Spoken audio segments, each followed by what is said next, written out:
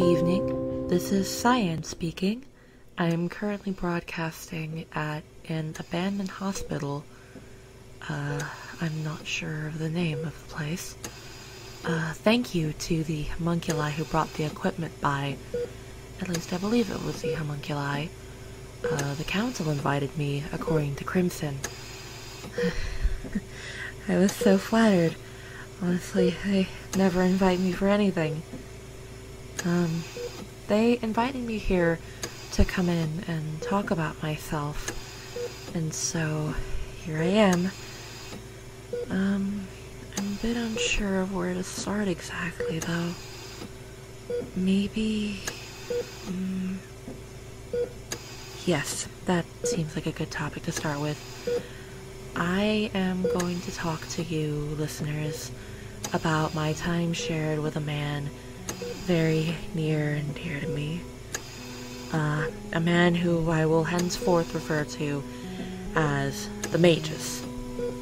The Magus is as stoic now as he was in his younger years, but back then he might have had more of a sense of humor. I always remember the sounds of the waves from visiting the beach with him, or the sound of the wind whistling through the trees and the forest and the crunch of leaves underfoot as we just walk along, talk about things that don't really matter. But one of my fondest memories is one of the annual bake sales from years and years ago. Issa has never lost a year at those bake sales. No doubt because she's been training in her baking for so very. Frankly, I feel like she should get an award for her butterscotch cream pie. It's so fluffy, and the decorations are simple, but it just melts in your mouth when it hits your tongue. The first time I tried it, though, was a magical experience, especially when the Magus stepped in. I had been under the impression that humans attack their food, much like the education board attacks the losing party of this contest. The magus sought to correct my errors and my way of thinking. He guided me, unfortunately briefly, in delicacy. He moved my hands just so. It was a happier time, most definitely. Lately, those experiences have been coming less less less. Ever since the colors started spending more time with each other. Ever since I started spending more time with them. The magus visited us a few times before, but he didn't seem to share the same. what's amicability with the others as he did with me. Magus, especially didn't care for Crimson. Doesn't even make sense. Why did he not like Crimson? After all, this was before I. Before I. This happens every time. I try to do something anything right by my kin, and someone always ends up hurt. I'm so useless. I just want to get help everyone get along. But every time I try to help, things always end up worse than before. I can't even do right by my Magus. If anything, he probably hates me by now. I wouldn't blame him. I just want to be good for someone.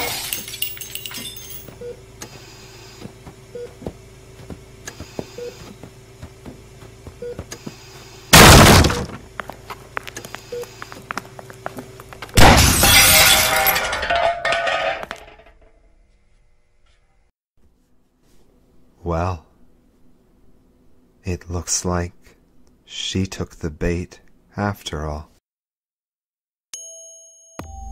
A little letter singing her praises with the council's signature, and she comes running. Typical Cyan. Well then, Hierophant, she's all yours.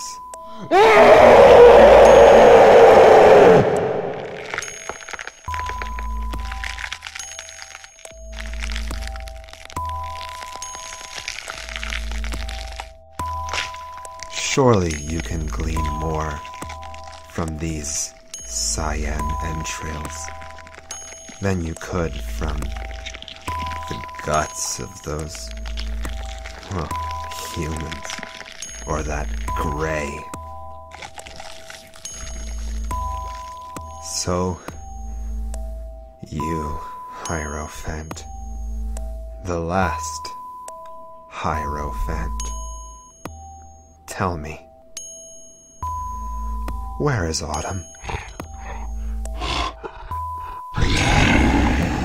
You'll, you'll have to excuse me. I, I thought for a second there that you said you don't. No, I don't think you understand. These aren't the guts of some vigilante or another gray. This is a color. I murdered a color. We had a deal, Hierophant. I get you the guts, and you tell me what I want to. Don't take that tone of voice with me.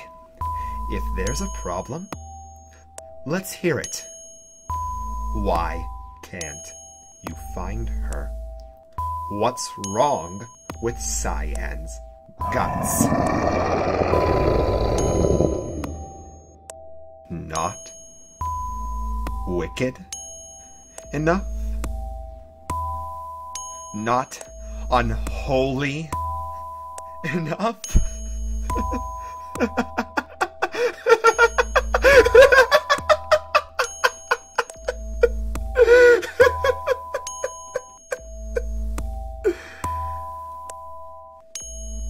Ridiculous.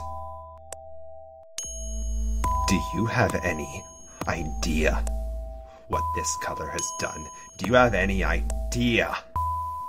The colors she's broken? What she did to Cinnabar? What she did to my brother? And then Goldenrod sent me to hunt them down. And I hunted them down, oh, I hunted them down, and I killed them, and I killed Lavender, and I killed Chartreuse, and I killed Periwinkle, and I killed my brother Cinnabar. And now I've killed Cyan. So, Hierophant, all I need you to tell me is who to kill next. Unholier. Unholier than Cyan. That's what I need. That's who I need to paint crimson so that you can find autumn in the whispers of that most unholy viscera. Oh? Oh. Cyan left the equipment on. Then again, I guess I didn't really give her the chance to turn it off. Well, while I'm here, Autumn, if you're listening, I miss you. I miss you so much. And I'm sure you miss me. But don't worry. We'll be together again soon. I will paint this world until there's nothing left but me. And then, no matter where you are, I'll be with you. You'll look at this blood red city, and you'll remember those dreams that you had of me before I was pulled from your head, before I was torn from your sight.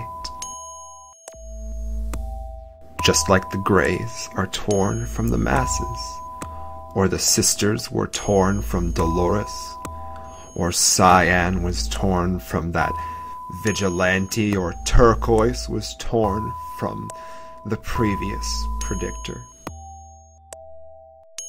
The Council has the nerve to tear us apart. And then they call this meaningless half existence normal. If you ask me, we're the normal ones. I'm the normal one. Anyway, I've kept you waiting too long, my autumn. I've got to find someone unholier than Cyan now. To eviscerate. And I think I know just the gentleman. Goodbye, arbitrary. Goodbye, Cyan. In the end, you were as useless as always. This has been Autumn's favorite color. Signing off.